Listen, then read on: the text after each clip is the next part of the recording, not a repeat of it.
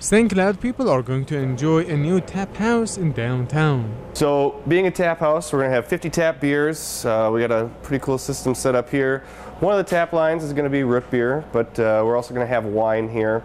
And we're going to do soda, so Coke, Pepsi, all those different stuff. Helen says how this restaurant stands out among others in the area.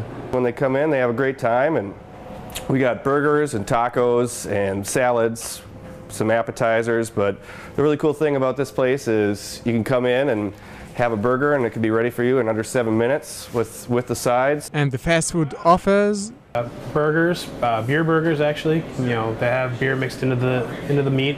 Um, we'll order offer tacos, fresh cut French fries, fresh chips, uh, various appetizers as well. Bonayan says how their burger is different than others. The beer burger in and of itself, I think, is a really cool concept. I don't think anyone else does that in town. Um, I don't think anyone else mixes beer into the meat, um, which actually gives it a different flavor.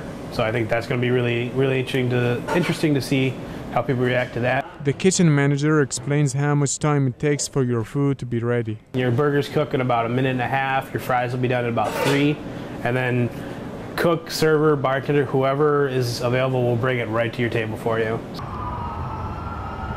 Seven West restaurant is going to open on December 14th with having more than 85 seats for customers to sit and chat with each other while trying new burger with beer.